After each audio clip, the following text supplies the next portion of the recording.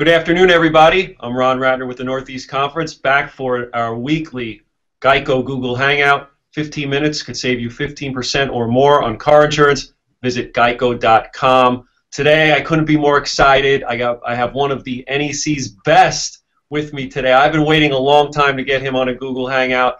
Uh, he's in the midst of a record-breaking season, and he anchors the newly minted NEC regular season champions so they're guaranteed a spot in the postseason. Here he is, one of the NEC's best. How about this for a build-up here? We have Jalen Cannon from the St. Francis Brooklyn Terriers. How you doing, Jalen? I'm fine. Can't complain. Thank you for having me. You got it. Um, we're going to get to your season and uh, put it all in perspective, all the great things the Terriers have done this year. But first, I want to talk a little bit about you and some of the, your accomplishments this year. Um, February 7th, you set the NEC rebound, the career record, and have since have since obliterated that record up to uh, 1,090 rebounds in a career, most by any NEC player ever, the most by any active NCAA player. Can you even wrap your head around these numbers that you put up in your career? Uh, not right now, not really. But hopefully, when it's all said and done, when it's all put together, that I'll I'll remember it and be um hopefully a, a champion one day to to put along with that stuff. Uh, was rebounding always your thing growing up as a kid and then through high school? Is that the thing you did better than everyone else? Uh, yeah, because in middle school I, I couldn't make a layup to save my life. Uh, I couldn't make a jump shot or maybe even a free throw too. I just always had a knack for rebounding and passing the ball, but now it's mainly rebounding.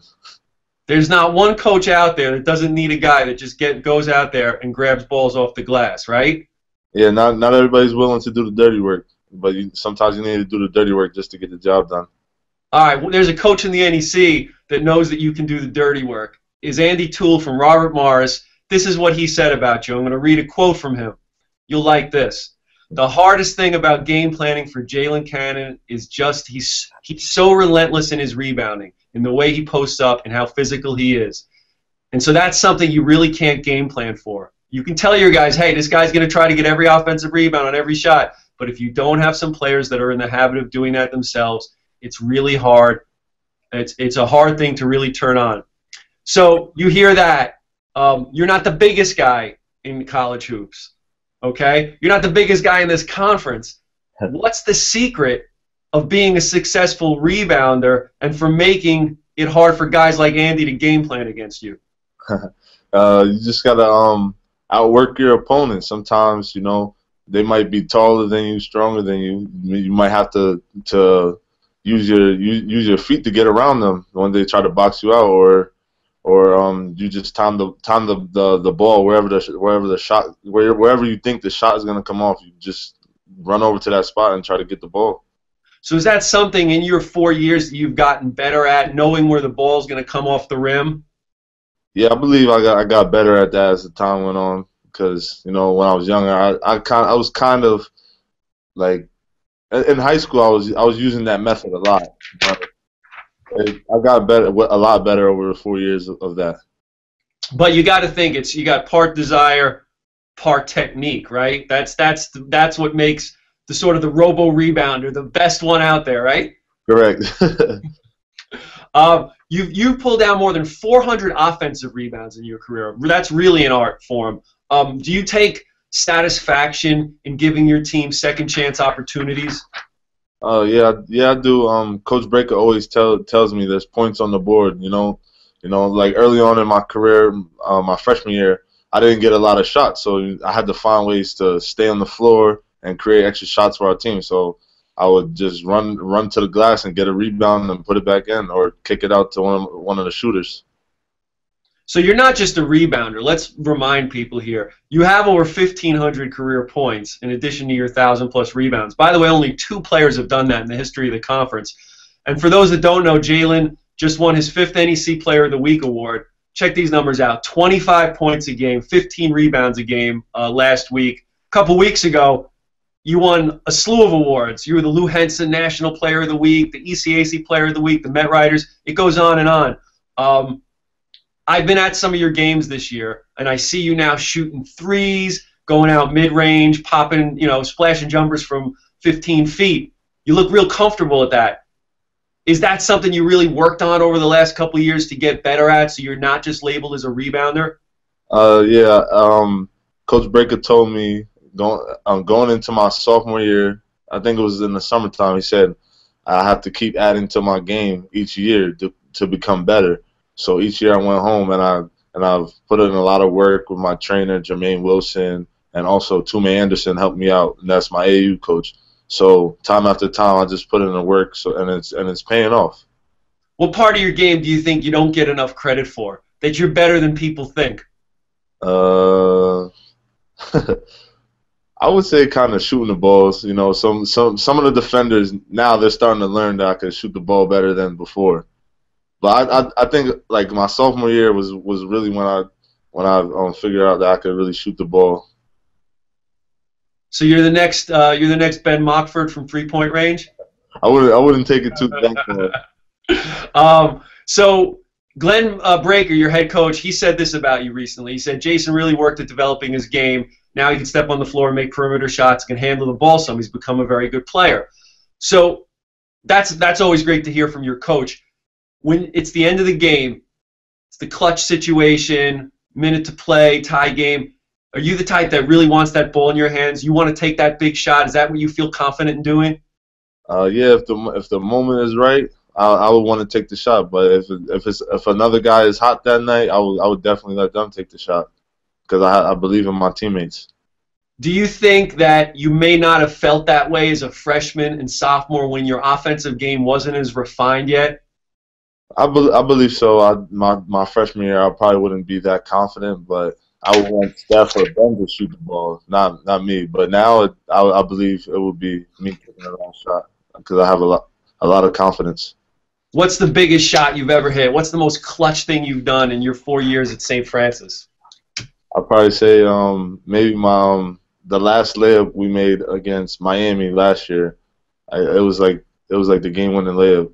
It wasn't at the bu- buzzer, but it was one of the last last shots. That win over an ACC opponent in the opening game of your junior season was that the biggest win that you've ever had? Uh, to this date so far, yes. Hopefully there'll be another one.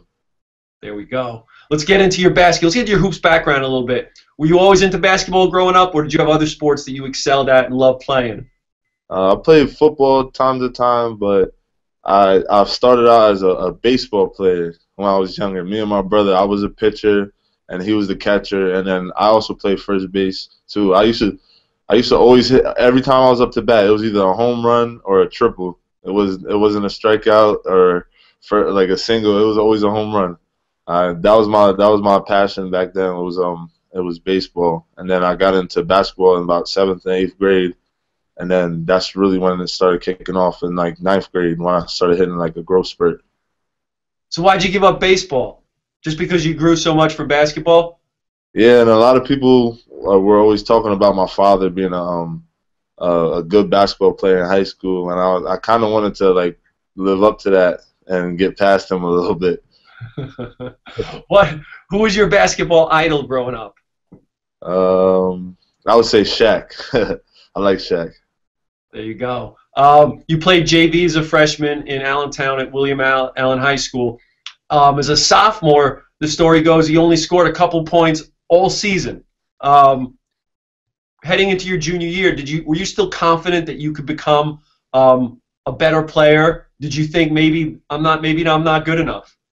Uh, there was a little a little doubt at, at, the at the beginning, but I I started growing, and then I started growing into my body junior year, and then my coach uh, Doug Snyder did a very good job of talking to me, telling me that I could be a very good player. I just got to keep working hard, and it kind of it kind of sinked in because every day I would either go to the park and play play full court or or get up shots, and then it just it just it just developed me. So your junior year it started to come together. Senior year, averaging 20-10 range, all-state player. Then comes your um, senior year, the playoffs. Okay, you guys are playing in the district championship game. You're playing Liberty rival, right? Rival school. Yeah, correct. Okay, so you're down at the half, you come into the locker room. Now I'm just this is the story out there that you told your teammates, we're going to win this game, we're going to win the title, don't worry about it. You finished that game with a 22 and 20 spot, which is pretty incredible. Your team rallied to win. What a great way to end that high school career of yours. Do you career, do you still get goosebumps thinking about that day? Uh, I do because I I kind of feel like it's it's gonna be like my um my senior year in college because we started off slow and then we picked it up.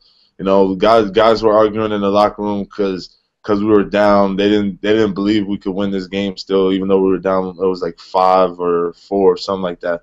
And I just told everybody to relax, settle down. We're gonna win this game. Now, when you were in high school, was that something you was it a common thing?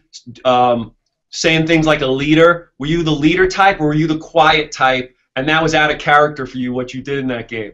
Oh yeah, that was, that was definitely out of character. And in high school, I was I was silent. I didn't I barely talked at all. But now I can't. You know, time to time I can't keep quiet. Is it more? Are you more comfortable now being one of the leaders of of the team the last year or two at St. Francis? Yeah, I've, I've learned a lot um, from from a lot of the older guys and and a lot from the coaching staff. They they told me I got to be more of a vocal leader. I mean, I lead by example, but I have to be a little bit more vocal, and and each year you can see that. What was there a player when you were a freshman or sophomore on on your team that you sort of looked up to and took your leadership cues from as you as you got older? Yeah, I would say my freshman year, I, I was looking up to Justin Newton he he always had us like in the right spots and everything. So I I just I just took um what he did, and I just ran. I kind of ran with it. So let's talk about why you came to St. Francis, Brooklyn. Why, why the choice? Why come from Allentown to Brooklyn to continue your, your education and play ball? Uh, I like I like I like the school where it was at. I like I like the city because Allentown is kind of similar to Brooklyn in some cases because people from New York move to Allentown all the time, and and also the staff here and they all made me feel like family. They all made me feel like they wanted me here because Coach Braica he always came to my practices and he always came to my games. It was was a surprise because even even when I committed here, he would always come by to check how I was doing. So it made me even feel more comfortable coming here. What was it that you that you think uh, Coach Braica and his staff saw in you that led them to offering you a scholarship? Uh, uh, definitely was rebounding because they needed a rebounder. Because I, I heard one of their guards were was their leading rebounder at like six a game, and in my mind I was thinking I was like, oh, I got a I got a chance to become uh, a good rebounder here maybe. And he also seen that I had some athleticism, but he, he, he knew I was undersized, but he, he knew what he was getting. So he um he really invested in me, and I thank him very, so very much for um recruiting me and and making me a better player and a better person than I am today. When you were in high school, and especially the years where you, you may have struggled a little bit and you hadn't found yourself as a player, did you was getting to Division One your goal? Did you think it was an attainable goal? At one point, I didn't, but as, as the years went on, I, I, I really believed in myself, and I and I seen myself playing in um, in college and getting to the NCAA tournament, thinking about playing playing against Duke and and um, Kentucky like that. That's great. Well, tell me a bit about Coach Braica. Is first of all, what makes him so special as a coach? He's he's not he's not only about basketball. He's about um he's a, he's a he's a big people person. You know, a couple couple weeks ago we went to this um this place. is like a church. It's, it's called St. Ephraim's. It's for um, kids with that have cancer, and we we took out um, a day and we um we played games with them. We um we did some drills with them. You know, defensive slides, maybe shooting. But he he teaches us a lot about that. It's more than it's more than out, it's more out there than just basketball. Being a, he believes in like being a good person. So I'll, I'll always take that. I'll take that to the grave with me. That that that's forever gonna mean mean something to me. You really seem to be part, from what everybody tells me at St. Francis. You're really part of the fabric at St. Francis, part of the culture at the at the at the college. What makes St. Francis Brooklyn to you such a great place to go to school? Uh, it's it's a it's a big family here. You know, it's a small school, but everybody knows each other and they make you feel welcome here. So that that that's why I love it here. They all make me feel welcome, and it feels just like a, a big family. You can't ask for anything more than that, right? To spend your four years. Nope, you can't ask for more than that. Um, let's talk about the season. How did it feel Saturday when you guys uh, finally you clinched the NEC regular season championship, the top seed? What was the locker room like after the game? Uh, it was a, it was kind of mixed emotions. Guys were happy, but you know, at the end of the day, this only secures you um, uh, postseason bid, but that could all change in one game. You know, we had to enjoy it until until um until the next day, and then get get ready for practice on on Monday. Well, the media's hopped on board lately. Um, you guys have been documented in stories in the Post and the News and the Times and USA Today, and everybody always mentions that St. Francis is one of the five schools that has never reached the NCAA tournament. I'm sure you've heard this a million times. Now you're hearing it one more time. Uh, what would it mean for you to be part of that first team that breaks through? You know, it's always going to be remembered by everybody, especially in New York. I mean, it will, it will mean a lot to me, especially that I'm a senior and and and everybody in the school will remember for as long as you can can tell the story it, it would mean a lot to uh, the staff, the coaches, even our walk-ons. Our walk-ons, our walk-ons are the are the foundation of our program. they, keep, they keep us up. That's great. So yeah, you could be you could be one of the trailblazers, one of those names that's always remembered if you guys um, if you guys win it all. That must be cool when you think about it down you know down the line. If you guys were the ones to win it, that you and your teammates now will be the ones always remembered for future uh, future teams. Yeah, that that'll be pretty cool to be remembered like that. How are you handling all this sudden media attention? Is it are you enjoying it, or are you just are you kind of like, I I think I want to move on and just concentrate on the games? Uh, I'm enjoying it, but also I just want to move on to the games. But it's it's fun, you know. It's my senior year. You gotta you gotta enjoy the ride. You know, you're not you're not you're not gonna have this mo- these moments forever. That's a great way to look at it. That's awesome. Uh, let's talk. I got to go back to something not so happy. Last year, in the playoffs, the Mount game, you lost a big lead out in the quarterfinals. Now, you said this at NEC Media Day. This is what you said about that game. I still have a clip on my phone of Mount St. Mary's on ESPN hitting that buzzer beater. I look at it once in a while to remember what happened so I can use it as motivation to come back this year and possibly try to win the NEC championship. I still have a bitter feeling in my stomach from that. Wow. Did that game bring your team closer together in the off season? Uh, yeah, it did. You know, we always talk about it time to time, but not too much. We got to focus on this year and, and not live in the past. But I believe that it has brought us a lot closer, you know, because we were up about 11 with a minute left, and it just just shows that you could lose any game at any given time, no matter what in this conference because there's not that much separation, and and a, a lot of us have learned from it, and we, we speak to the um, the newer guys, and and they listen they listen very well. So knowing that there's such a fine line between winning and losing, and the parity is so great in this conference, and knowing that it takes one bad game to kind of take the whole season of what you did, and it could end end your season as far as going to the NCAA tournament, has that sharpened your focus in practice and in games and, and made you guys like laser sharp in trying to do everything perfectly. Yeah, that that that sharpened us a lot. You know, me and Brent as as senior leaders, you know, we we always bring bring us together and and talk about it once in a while, and we say one we could we started off 0 5 and we could have ended 0 5 this year. You know, one game can change a whole season. Like it's really it really made us sharpen up in practice a lot. You know, we're we're really getting after it in practice. Taking we're we're um we're doing a lot of drills to um, handle the ball so we so we don't turn it all over so much at the end of games, stuff like that. I'm, I'm glad you brought up the 0 5 start because now you look at your team. There's 20 wins. You won eight in a row, regular season champs. But it, back in November, I know you were playing some tough competition. I'll, I got to give you that. But 0 5 start. Was there any doubt on the team? Uh, what caused the turnaround? Uh, I don't. I don't believe there was any doubt.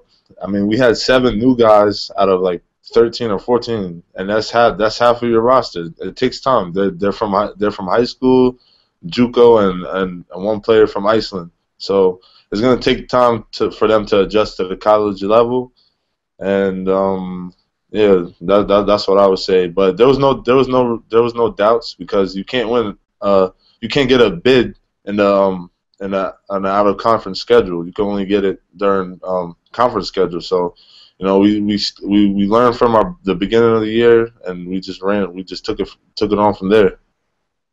So you, the Terriers are in first place for a reason. Obviously, you don't get to 14 and two without doing some things, you know, at, at, a, at a high level. Um, what is it that St. Francis does better than the other teams in the NEC that's allowed you to have such a successful season? What's your bread and butter? Uh, we rebound the ball a lot, and um, and I think our defense really really helps. What do you need to do better though to ensure that you win those three games in March? What's Coach harping on at practice every day?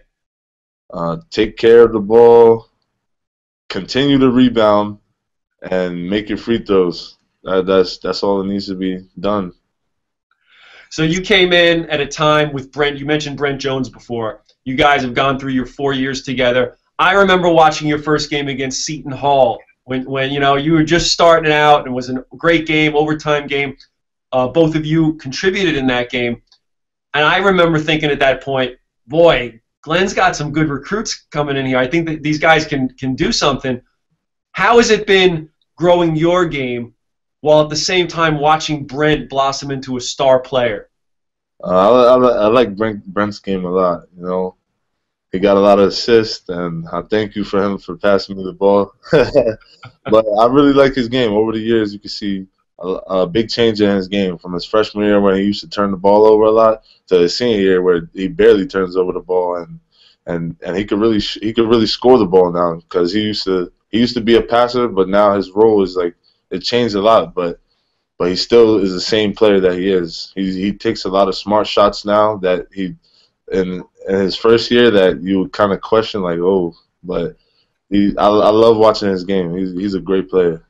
Is there an unspoken chemistry between the two of you after four years? Uh, does he know where to get you the ball?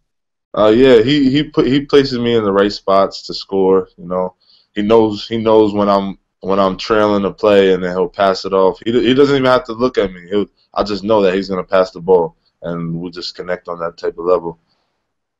I think that uh, one thing that St. Francis has going for it is Amdy Fall. I think he's a real game changer in this conference because of his length and his defensive abilities. You got a, you have a rim protector that not everybody else has. Tell me about his development from last season to this season. Man, he, he's he's contributed a lot. Like from last year, he, he blocked a lot of shots to even this year to even add into his game. He got a little jump shot. He got some more post moves, but his his shot blocking ability is like like no other. It's like he's six nine on the court. It's like it's he makes teams like think about even like taking it to the rim. Like maybe let's take a three point or something like that. But he makes you, he definitely makes you think twice. And in practice, it's just a battle against him. You know, he just makes me better. How often is he swatting your shots into the front row in uh, in practice? Uh, I try not to let him block any of my shots. I try to make it a little bit more difficult for him to to make him even better on defense. But you know, time to time he'll catch me. He'll go into the bleachers or maybe even out out to um, Remsen Street. That's a good line. Um, we're talking about the inside. Let's talk about the outside. So you lost uh, Ben Mockford to graduation, one of the NEC's best uh, three-point threats. You sort of fill in his role by committee now. Um, do you feel comfortable in your team's ability to stick shots from the perimeter? Uh, yeah, Ben Ben was a great shooter, but everybody is not giving our other guys enough credit because there's guys like Glenn and Brent and Tyreek and Kevin and Lowell's even making some shots now. So I, be, I believe that guys are starting to get in the gym more and, and make down knock down shots, and I feel comfortable with them with them shooting it. I'm glad you mentioned Glenn. Glenn Sanabria, freshman guard out of Staten Island. How big has his maturation over the last four or six weeks or so been to this team? Uh, it's been real big. He hit he hit a lot of tough shots the past couple weeks that you would never think a freshman would do. You kind of think he's like a sophomore or junior. Like he's very comfortable, and and I'm glad Glenn Braica was able to get him here, and he's helped out a lot. I really like his game. He's going to be a very good player down the road. Let's talk a little bit about your rivalry with LIU. The NEC is a special place because you have these two teams a mile apart. You don't really see that anywhere else. Um, the Battle of Brooklyn, okay? Uh, I was at it this year. You guys finally got them this year. Uh, tell people who may not understand how big that game is to you and the guys down the road at LIU? It's it's like another world war, you know. guys, these guys aren't too far from us, you know. So time to time, we'll see them like walking down the street. We'll say what's up, but in that game, there's there's there's no friends, and it, it means a lot. What? Let's talk a little bit about the NEC. You've been through it for four years, so I can pick your brain a little bit. Who are some of the toughest guys you've had to match up against in your four years? Which ones really made you go out and work hard? There's a couple. There's a lot of guys. There's Alex Francis, um, Julian Boyd, Jamal Olasewere, Ken Horton, Earl Brown, Drakeford. There's, there's a lot of tough guys. The list goes on. It's not easy game to game. There's always someone out there for you. The, nothing comes easy in this conference. What's the toughest place to play when you go on the road? I'd say Robert Morris and Bryant. And even, crowds there. Even Mount St. Mary's too. Oh yeah, they'll they'll they'll they'll they'll go they'll get after you a little bit out there, right? Yeah, they definitely will. uh, I'm going to name a couple teams that are contenders in the NEC this year. Tell me what comes to mind. Robert Morris. Lucky Jones and Andy Toole. Bryant. Dyami Starks. He's tough when he gets hot, right? When he, when he gets hot, he gets hot. What about the Mount? Tell me how challenge. I know you've had two tough games. The Mount they picked you off down in Emmitsburg, and then you came back late to beat them up in Brooklyn Heights. What what is what is what kind of problems does that team pose for you? They cause big problems for a lot of teams because when when they when they press and they they steal the ball, they can they can really get it going because they could start hitting three pointers off them presses, and it, it causes big problems. You know, you if you have somebody that could take care of the ball, then then you're set. But they cause big problems on that that mayhem. That Mount Mayhem is crazy. All right, so winning the regular season title means you have home court advantage as long as you stay alive in the NEC tournament. How important was it for you, for, for, for your team, to know that to to I, to aspire to getting all those games at home at the Pope Center? Uh, it means a lot. You know, you know, the crowd really can get into it. You know, there's less travel for us, so I believe that's a big factor right there is the traveling part because I don't I don't believe there's that many days of rest if you advance in the tournament, and that can take a toll on your body if you have to travel from from like Pittsburgh or or um, Emmitsburg and stuff like that. So I think that's a big factor right there. How does it feel when there's a packed house at the Pope? Small little venue, everybody right on top of you. When you walk in and you, you can you feel that energy in the crowd? Yeah, you, feel, you definitely feel the energy. I felt like I was playing at, at Syracuse one time with 20, 22,000 or whatever it was that one time we played there. it gets really loud. All right, let's switch gears. Um, we're almost done here. I wanted to ask you a few other things. Um, down the line, I assume you want to play professionally, correct? Yes. Uh, now, you're majoring. What's your major? Business management, sports management? Uh, communi- communications. Oh, I got it wrong. I got it wrong. That's okay. right. The website's wrong. It's all right. We I sw- I switched it up my sophomore year. all right. So uh, down the line, when you're done, hopefully playing professionally, what is it that you like to do? Uh, I I know how to make um magazine covers. So hopefully one day I can I, you can see me making magazine covers for like ESPN or something like that.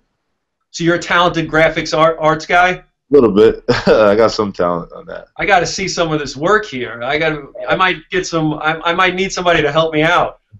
I'll help you one day. All right. What's at St. Francis? What's your favorite class you've taken in your four years?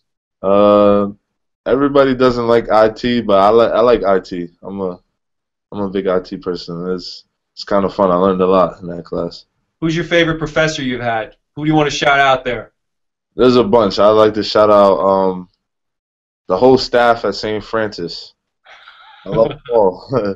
all right, last last question. what's give me a hobby. What's something that you do? What's surprising? Some surprising hobby people might not know about. What do you like to do? Uh, I like to travel travel on in New York. I like to visit new places. There you go. There's plenty to do. You're not going to run out of things to do in New York. It's, it's, it's there's a lot to do in New York. You could never run out of things in New York because it's so it's so big. All right, so maybe if you're out there, fans, maybe you'll see Jalen Cannon walking through the streets of New York. You'll get to see Jalen Cannon this Thursday on MSG Network and Fox College Sports because you know what? LIU, St. Francis, Brooklyn, going at it one more time this year. This time uh, at LIU, 7 o'clock, so we got a TV game. Then your regular season finale, you got to go up to Bryant. Well, as you said, tough place to play. It's a tough place. 4 p.m. on NEC Front Row, and that will do it for the regular season. After that, you'll get to see Wednesday, March 4th, at the Pope Center. We don't know who you're going to be playing yet, but you know you'll be playing at home in the NEC tournament.